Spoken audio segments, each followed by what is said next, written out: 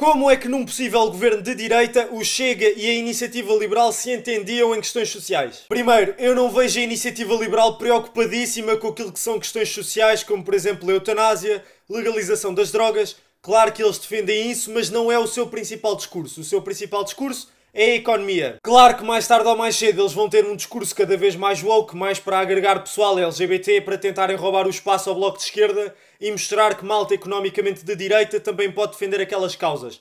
Mas até lá, enquanto a exigência do eleitorado não pedir esse tipo de discurso, a coisa é mais virada para a direita. Portanto, por agora e num futuro a médio prazo, essas questões não vão ser um problema. Chega a Iniciativa Liberal estão muito mais preocupados a mudar o sistema da educação, sistema da saúde, a reformar a justiça, a acabar com a corrupção, do que necessariamente se legalizam ou não a eutanásia ou o aborto ou quer que seja. Há muita coisa muito mais importante neste país, aliás, eu acho que a política neste momento está completamente invertida. Questões LGBTs, questões de eutanásia, questões das touradas, parece que são muito mais relevantes do que o teu sistema educativo, do que o teu sistema de saúde. Isto está tudo ao contrário. Por isso, quando a iniciativa liberal começar a ver a pasta das finanças à frente e o Chega a começar a ver a pasta da justiça, a pasta da defesa, eles não vão querer saber das questões sociais para nada. Mas eles vão manter muito mais essas questões no seu discurso, que é para relembrarem o eleitorado de que, apesar de estarem juntos, eles divergem em muita coisa, quando na verdade eles economicamente são bastante semelhantes, só divergem mesmo nessas questões sociais. Eu acho que essa possível coligação de direita, PSD, Chega e Iniciativa Liberal vai resumir-se muito à tensão política entre eles. O PSD, sendo o maior partido, sendo o partido histórico, não vai aceitar se calhar ter menos eleitorado do que os outros dois partidos juntos,